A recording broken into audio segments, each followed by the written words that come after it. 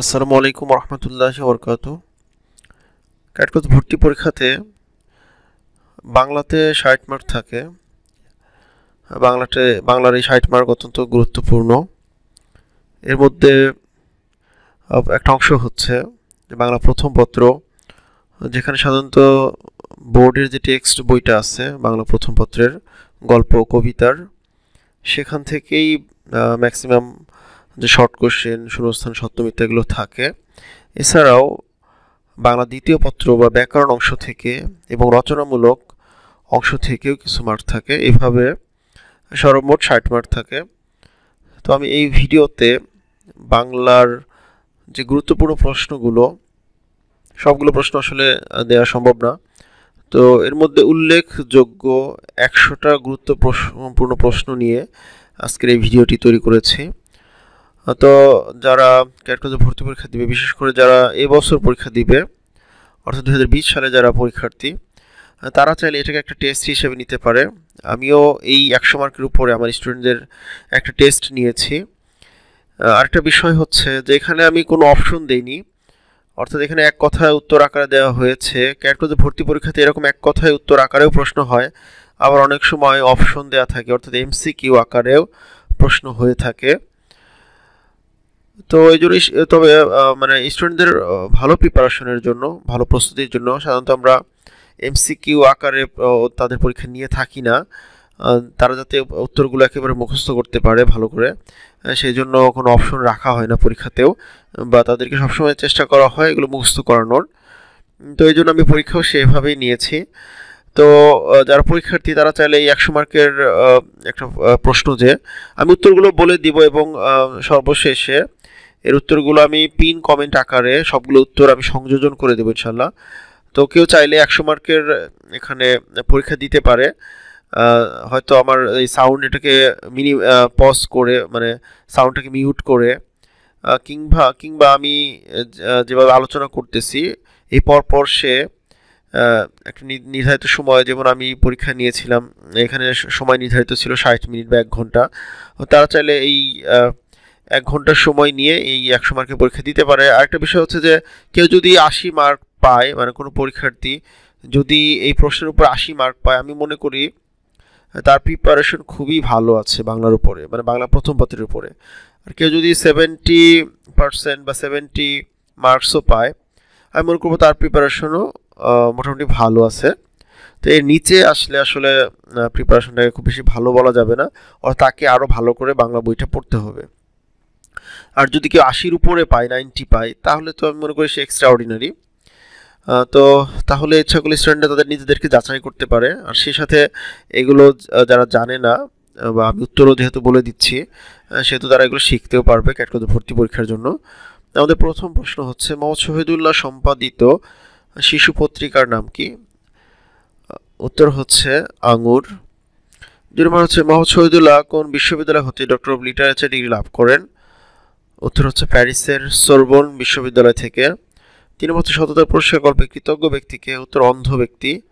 চার নম্বর হচ্ছে নুরুল দিনের সারা জীবন কার লেখা? উত্তর, সৈয়দ শামসুল হক। এটা একটা ভর্তি পরীক্ষায় সম্ভবত দুই থেকে তিনবার এই প্রশ্নটা এসেছে যে নুরুল দিনের সারা জীবন এই এই লেখাটি কার বা এটা কে লিখেছে। এরপরে হচ্ছে পাঁচ নম্বর হচ্ছে, মাদার তেরেসা কত বছর বয়সে প্রথম ঢাকায় আসেন? ওতে হচ্ছে বাষট্টি বছর বয়সে। কারণ কারণ উনি উনিশশো দশ সালে জন্মগ্রহণ করেন এবং উনিশশো বাহাত্তর সালে সর্বপ্রথম তিনি ঢাকায় এসেছিলেন। তো তখন তার বয়স ছিল বাষট্টি বছর। তো এইভাবে অ্যানালাইটিক্যাল প্রশ্ন হয় যে আমাদেরকে হিসাব করে বের করতে হবে। কিন্তু বইতে কিন্তু সরাসরি তার বয়সটা এইভাবে দেয়া নেই। শুধু আছে তিনি উনিশশো বাহাত্তর সালে ঢাকায় এসেছিলেন। আর তার জন্ম সালটা যেহেতু দেওয়া আছে উনিশশো দশ সাল, তাহলে তখন তার বয়স ছিল বাষট্টি বছর। ছয় নম্বর প্রশ্ন হচ্ছে, বহু ভাষাবিদ হিসেবে পরিচিত কে? উত্তর হচ্ছে মোহাম্মদ শহীদুল্লাহ। সাত নম্বর হচ্ছে, অ্যালাটিং বেলাটিং গ্রন্থের রচয়িতাকে উত্তর, শামসুর রহমান। আট নম্বর হচ্ছে, বনফুলের প্রকৃত নাম কি? উত্তর বলাই চাঁদ মুখোপাধ্যায়, যিনি মিনু গল্পটি লিখেছেন। নয় নম্বর, নকশিকাথার মাঠ, কাব্য, গ্রন্থটি কার লেখা? উত্তর জসিম উদ্দিন এটা খুবই গুরুত্বপূর্ণ প্রশ্ন। আসলে প্রত্যেকটা প্রশ্ন এখানে গুরুত্বপূর্ণ। যদি এর বাইরে অনেক গুরুত্বপূর্ণ প্রশ্ন আছে, তবে এই প্রশ্নগুলো আলোচনার উদ্দেশ্য হচ্ছে প্রশ্ন সম্পর্কে একটা ধারণা রাখা, কীভাবে প্রশ্ন হয় বা কীভাবে হতে পারে, কীভাবে ঘোরা প্রশ্নকে ঘুরানো হয়, পেঁচানো হয়, এই বিষয়গুলো সম্পর্কেও কিন্তু স্টুডেন্ট একটা ধারণা পায়, ধারণা পাবে। এরপর হচ্ছে বনফুল পেশায় কি ছিলেন? উত্তর চিকিৎসক। এরপর এগারো নম্বর হচ্ছে মিনুর পিসে মশায়ের নাম কি? উত্তর, যোগেন বসাক। এরপরে হচ্ছে বারো নম্বর প্রশ্ন, মিনুর হাতুড়িটার নাম কি? উত্তর, গদাই। এরকম মিনুর যে বিভিন্ন জিনিসপত্র নিয়ে আলোচনা করা হয়েছে এবং সে প্রত্যেকটা জিনিসের কিন্তু একটা করে নাম দিত। এই নামগুলো কিন্তু খুব ইম্পর্টেন্ট এখানে যদি শুধু মিনুর হাতুড়িটার কথা বলা, বলেছি, কিন্তু অন্যান্য বিষয়গুলোও কিন্তু আমাদের অবশ্যই ভালো করে মুখস্থ রাখতে হবে। এরপরে হচ্ছে তেরো নম্বর, পেটে ভাতা, এই শব্দের অর্থ কি? উত্তর, পেটে ভাতে। এরপরে চোদ্দ নম্বর মিশর সবচেয়ে বড় পিরামিড তৈরি হয়েছে প্রায় দেড় বছর আগে, উত্তর চার হাজার ছয়শো বছর আগে। এই প্রশ্নটা সরাসরি বইতে নেই, কিন্তু এই প্রশ্নটা হচ্ছে ভর্তি পরীক্ষাতে এসেছিল, যেটার উত্তর হচ্ছে চার হাজার ছয়শো বছর। তো এটা বাড়তি হিসেবে অবশ্যই আমাদেরকে জেনে রাখতে হবে। হচ্ছে নীলনদার পিরামিডের দেশ কোন গ্রন্থ থেকে নেওয়া হয়েছে? উত্তর জলে ডাঙায় ষোলো নম্বর সৈয়দ মুস্তাফা আলীর বিখ্যাত ভ্রমণ কাহিনীর নাম কি? উত্তর, দেশে বিদেশে। সতেরো নম্বর, মিশরের সবচেয়ে বড় পিরামিডটির উচ্চতা কত? উত্তর হচ্ছে প্রায় পাঁচশো ফুট। আঠারো নম্বর হচ্ছে সবচেয়ে বড় পিরামিড বানাতে কতজন লোকের দরকার হয়েছিল? উত্তর হচ্ছে এক লক্ষ। উনিশ নম্বর হচ্ছে সবচেয়ে বড় পিরামিড বানাতে কত বছর লেগেছিল? উত্তর, বিশ বছর। বিশ পর হচ্ছে সপ্তাশ্চর্যের বিশ নম্বর। সপ্তাশ্চর্যের অন্যতম পিরামিড তৈরি করতে কত লক্ষ টুকরো পাথরের প্রয়োজন হয়েছিল? উত্তর হচ্ছে তেইশ লক্ষ। একুশ নম্বর হচ্ছে সন্ধ্যের ঝোঁকে জাহাজ ড্যাশ বন্দরে পৌঁছলো। উত্তর হচ্ছে সুয়েজ বন্দরে। বাইশ নম্বর হচ্ছে শবনম, কার উল্লেখযোগ্য রচনার নাম? বাইশ নম্বর উত্তর হচ্ছে সৈয়দ মুস্তফা আলী। এরপর হচ্ছে শকত উসমানের প্রকৃত নাম কি? উত্তর আজিজুর রহমান। চোদ্দ নম্বর হচ্ছে, চব্বিশ নম্বর হচ্ছে প্রৌঢ় মহিলার নাম কি? এটা মূলত তোলপার গল্পের একটা অংশ। তোলপার গল্প থেকে প্রশ্নটা করা হয়েছে, প্রৌঢ় মহিলা। তার নাম হচ্ছে মিসেস রহমান। হচ্ছে জৈব শব্দের অর্থ কি? উত্তর দুর্বল। ছাব্বিশ হচ্ছে তর্ক বাগিস কার উপাধি? উত্তর হচ্ছে মাওলানা আব্দুর রশিদ। সাতাশ নম্বর, একুশে ফেব্রুয়ারিতে আমতলায় যে ছাত্র সভা অনুষ্ঠিত হয়, তার সভাপতি কে ছিলেন? উত্তর গাজীউল হক। আঠাশ নম্বর, ভাষা শহীদদের জন্য শহীদ মিনারটি সর্বপ্রথম নির্মাণ করা হয়, কত তারিখে তৈরি করা হয়েছিল? এটার উত্তর হচ্ছে তেইশে ফেব্রুয়ারি। এরপরে উনত্রিশ নম্বর, শহীদ মিনার অনানুষ্ঠানিকভাবে কে সর্বপ্রথম উদ্বোধন করে, করেছিলেন? এটা হচ্ছে শহীদ শফিউরের পিতা। এরপরে তিরিশ নম্বর হচ্ছে, সর্বদলীয় কর্ম পরিষদের আহ্বায়ক কে নির্বাচিত হন উত্তর কাজী গোলাম মাহবুব। এরপর একত্রিশ নম্বর হচ্ছে, বাউনের ভাষা আন্দোলনে বাইশ ফেব্রুয়ারি মোট কতজন শহীদ হন? উত্তর চারজন বত্রিশ নম্বর, আবদুল্লাহ আল মুতি, বিজ্ঞান সাধনার জন্য কোন পুরস্কার পান? উত্তর, আন্তর্জাতিক ইউনেস্কো কলিঙ্গ পুরস্কার। তেত্রিশ নম্বর হচ্ছে, বায়ুমণ্ডলে প্রায় কতটি বর্ণহীন গ্যাসের মিশ্রণ রয়েছে? উত্তর, বিশটি। চৌত্রিশ, পৃথিবীর কত উপরে প্রায় হাওয়া নেই বললেই চলে? উত্তর, দেড়শো থেকে দুশো মাইল বা একশো পঞ্চাশ সংখ্যায় আমরা লিখতে পারি, একশো পঞ্চাশ থেকে দুইশো মাইল। এরপর পঁয়ত্রিশ নম্বর হচ্ছে, কুষ্ঠরোগীদের জন্য মাদার তেরেসা কি প্রতিষ্ঠা করেন? উত্তর, প্রেম নিবাস। মাদার তেরেসা কোন বিষয়ে নোবেল পুরস্কার পান? উত্তর, শান্তিতে। সাঁত্রিশ নম্বর মাদার তেরেসা কত সালে নোবেল পুরস্কার লাভ করেন? উত্তর উনিশশো সালে। আটত্রিশ নম্বর মৃত্যুমুখী অসহায় মানুষের সেবার জন্য মাদার তেরেসা কি প্রতিষ্ঠা করেন? উত্তর, নির্মল হৃদয়। মাদার তেরেসা থেকে প্রতি বছর এবারে প্রশ্ন আসে। খুবই গুরুত্বপূর্ণ মাদার তেরেসার প্রশ্নগুলো। এটা মানে সবচেয়ে বেশি আমার মনে হয় যে মাদার তেরেসা থেকেই প্রশ্ন এসেছে এ পর্যন্ত। আর এটা তো অনেক তারিখ, অনেক অনেক গুরুত্বপূর্ণ বিষয় বা কিছু ক্রিটিক্যাল বিষয় আছে, এখানে নামগুলো মনে রাখতে হয়। তো জন্য এটা একটু ভালো করে পড়তে হবে। এরপর হচ্ছে মাদার তেরেসার প্রকৃত নাম কি? উনচল্লিশ নম্বর, এটা হচ্ছে অ্যাগনেস গঞ্জা ভোজা জিউ তো নামটা একটু কঠিন এবং বানানটাও আমাদের ভালো করে খেয়াল রাখতে হবে। আর চল্লিশ নম্বর মাদার তেরেসা কত সালে মারা যান? উনিশশো সাতানব্বই সালে। একচল্লিশ নম্বর হচ্ছে, সৈয়দ শামসুল হক কত সালে জন্মগ্রহণ করেন? উত্তর হচ্ছে উনিশশো পঁয়ত্রিশ সালে। প্রত্যেকটা লেখক এবং কবির জন্ম, মৃত্যু সাল এবং তাদের তাদেরকে নিয়ে বিশেষ যে সালগুলো আছে, তাদের কোনো অর্জন বা বিশেষ কোনো ঘটনা, সেগুলো খুব ভালো করে মনে রাখতে হবে। এবার বিয়াল্লিশ নম্বর হচ্ছে, সৈয়দ শামসুল হকের রচিত পায়ের আওয়াজ পাওয়া যায় কী ধরনের রচনা? উত্তর হচ্ছে নাটক। এবার তেতাল্লিশ নম্বর হচ্ছে, প্রাচীনকালে মখমলে কাপড়, কারা পড়তো উত্তর মেয়েরা। ফোর্টি ফোর হচ্ছে, আনিসুজ্জামান বাংলা একাডেমি থেকে প্রকাশিত কোন গ্রন্থের প্রধান সম্পাদক ছিলেন? এর উত্তর হচ্ছে, বাংলা সাহিত্যের ইতিহাস। ফোর্টি ফাইভ হচ্ছে, কত বছর আগে এদেশে রাজা আসেন? উত্তর, তেইশ চব্বিশশো বছর আগে।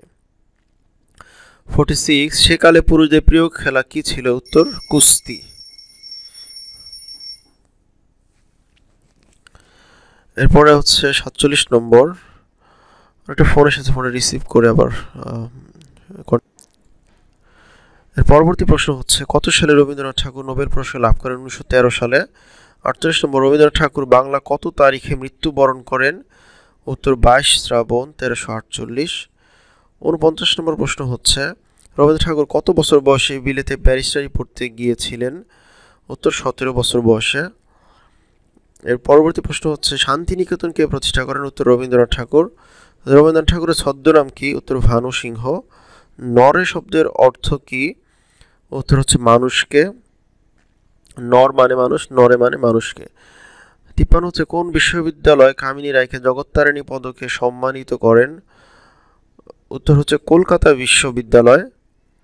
এরপর হচ্ছে কবি কামিনী রায়ের ছদ্মনাম কি? উত্তর জৈনক জনৈক বঙ্গ মহিলা বানটা খেয়াল রাখতে হবে। এরপরে হচ্ছে ফিফটি ফাইভ সুকবিতাটি কবি কামিনী রায়ের কোন কাব্যগ্রন্থ থেকে নেওয়া হয়েছে? উত্তর আলো ও ছায়া। ফিফটি সিক্স হচ্ছে পরের কারণে স্বার্থ দিয়া বলি, এর পরের লাইনটি কি হবে? এরকম কিন্তু আসে। এর পরবর্তী লাইন হচ্ছে এখানে যে, এ জীবন মন সকলই দাও। এরকম এর আগের লাইন, এর পরের লাইন বা এই লাইনটি কোন কবিতার অংশ বা এর লেখক, এর কবিকে, এগুলোও কিন্তু ক্যাটলজের পরীক্ষাতে এসেছে এবং আসে। এই জন্য কবিতাগুলো, লাইনগুলো ভালো করে মুখস্থ রাখতে হবে ইম্পর্টেন্ট কবিতাগুলো। এরপরে হচ্ছে, বাংলা সাহিত্যে ছন্দের জাদুকরকে উত্তর সত্যেন্দ্রনাথ দত্ত। আঠারো নম্বর হচ্ছে, কাজল বিলে পান করি নাইসে সুখে। কার লেখা কবিতা? উত্তর হচ্ছে শামসুর রহমান। এবার ফিফটি নাইন হচ্ছে মানুষ জাতি কবিতাটি কোন কাব্যগ্রন্থ থেকে নেওয়া হয়েছে? উত্তর হচ্ছে অফ্র আবির। এরপরে ষাট নম্বর হচ্ছে মানবজাতি কবিতার মূল কবিতা কোনটি? উত্তর জাতির পাতি। অর্থাৎ জাতির পাতি হচ্ছে এই কবিতার মূল নাম যেটাকে এই কাব, এই পাঠ্য বইয়ে মানুষ জাতি হিসেবে এখানে কবিতাটি উল্লেখ করা হয়েছে। কিন্তু এর মূল নাম হচ্ছে জাতির পাতি। এরপরে হচ্ছে কাজী নজরুলের লেখা পুতুলের বিয়ে কি ধরনের রচনা এটা হচ্ছে একষট্টি নম্বর প্রশ্ন, এটা হচ্ছে নাটক, এটা হচ্ছে হচ্ছে শিশুতোষ নাটক, এভাবে উল্লেখ করলে সবচেয়ে ভালো হয়, কী ধরনের রচনা? এটা হচ্ছে শিশুতোষ, শিশুদের জন্য লেখা, এক ধরনের নাটক। বাষট্টি হচ্ছে, কাজী নজরুল ইসলামের জন্মসাল ও তারিখ কত? উত্তর হচ্ছে আঠারোশো নিরানব্বই সালে চব্বিশে মে। তেষট্টি নাম্বার হচ্ছে, কাজী নজরুল ইসলামের গ্রামের নাম কি? উত্তর চুরুলিয়া। আসমানির গায়ের রং কেমন? উত্তর সোনালি। আই বৃষ্টি ঝেপে লেখাটি কার? এটা হচ্ছে সিক্সটি ফাইভ নাম্বার এটা হচ্ছে আবদুল্লাহ আল মুতি সিক্সটি সিক্স হচ্ছে আসমানিদের বাড়ির ধারের পুকুরের নাম কি? উত্তর পদ্ম পুকুর। সাতষট্টি হচ্ছে কোন মশক বিষ গুলিছে? উত্তর ম্যালেরিয়া। আটষট্টি হচ্ছে রকুনুজ্জামান খান শিশু কিশোরদের জন্য কোন সংগঠন গড়ে তোলেন? উত্তর কচি কাচার মেলা। উনসত্তর হচ্ছে। রকুনুজ্জামান খান কত সালে বাংলা একাডেমি সাহিত্য পুরস্কার লাভ করেন? উত্তর উনিশশো আটষট্টি সালে। সত্তর নম্বর হচ্ছে, নীল আকাশে কে পাখা মিলেছে? উত্তর সোনালি চিল। একাত্তর হচ্ছে, শামসুর রহমানের প্রত্যেক নিবাস কোথায়? উত্তর নরসিংদীর পাড়াতলি। বাহাত্তর হচ্ছে, শামসুর রহমান কোন পত্রিকার সম্পাদক ছিলেন? উত্তর দৈনিক বাংলা।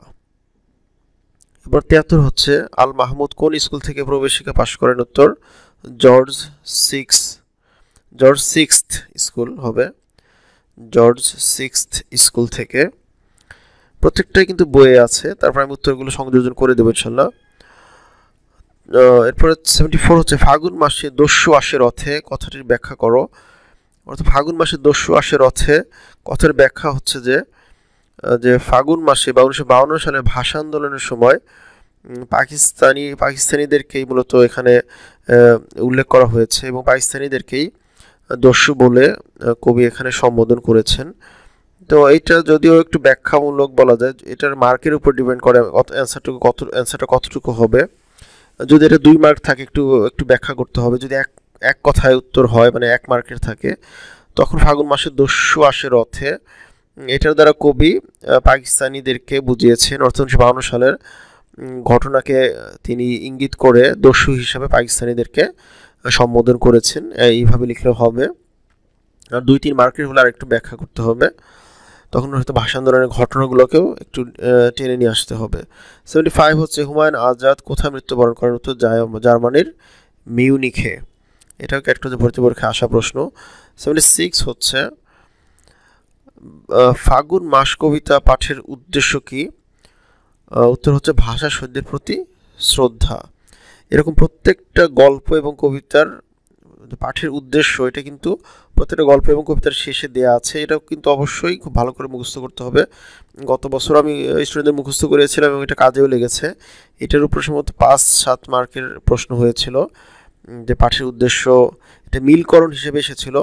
বাম পাশে কবিতা এবং গল্পের নাম লেখা ছিল এবং ডান পাশে পাঠের উদ্দেশ্য ছিল, একটু সহজভাবে এসেছিল। কিন্তু আমাদের চেষ্টা করতে হবে প্রত্যেকটার মুখস্থ করে রাখার। সেভেন্টি সেভেন হচ্ছে নিখিল শব্দের অর্থ কি? উত্তর সমগ্র। এরপর সেভেন্টি এইট বনফুলকে সাহিত্যকর্মের স্বীকৃতি হিসেবে কি উপাধি দেয়া হয়? উত্তর হচ্ছে পদ্মভূষণ। ওনাশি হচ্ছে শামসুর রহমান পেশা কি ছিলেন? উত্তর সাংবাদিক। রফিকুল ইসলাম মূলত কি হিসেবে পরিচিত? উত্তর, নজরুল গবেষক। একাশি হচ্ছে মাদার তেরেসার পিতার নাম কি? উত্তর, নিকোলাস ভোজাজিউ। এটি টু হচ্ছে তোলপাড় গল্পের লেখকের প্রকৃত নাম কি? এই প্রশ্নটা কিন্তু একবার দিয়েছি, কিন্তু একটু ঘুরিয়ে একটু দেওয়া হয়েছে। এইভাবে অনেক সময় প্রশ্ন হয় যে এইটি টু হচ্ছে তোলপাড় গল্প, এখন লিখেছে কি এটা আমাদের মনে রাখতে হবে। তারপরে তার প্রকৃত নামটা আমরা জানতে পারব। আর তোলপাড় গল্প হচ্ছে শওকত ওসমান লিখেছে। তাহলে শওকত ওসমানের প্রকৃত নাম আজিজুর রহমান। এই প্রশ্নটা কিন্তু অলরেডি একবার এসেছে, কিন্তু এইভাবে না, একটু ঘুরাইয়া দেওয়া হয়েছে। তো স্টুডেন্টদেরকে একটু একটু যাচাই করার জন্য এরকম প্রশ্নকে একটু ঘোরানো হয়। একটি থ্রি হচ্ছে ভাষা শহীদ আওয়াল কবে মারা যান? উত্তর হচ্ছে উনিশশো সালের বাইশ ফেব্রুয়ারিতে। এইটি ফোর হচ্ছে জসিমুদ্দিন কত সালে মারা যান? উনিশশো ছিয়াত্তর সালে। মিনুর ঘটিটার নাম কি? উত্তর হচ্ছে পুটি। এইটি সিক্স হচ্ছে, ফোক, ফোকটে শব্দের অর্থ কি? উত্তর ফাকতালে।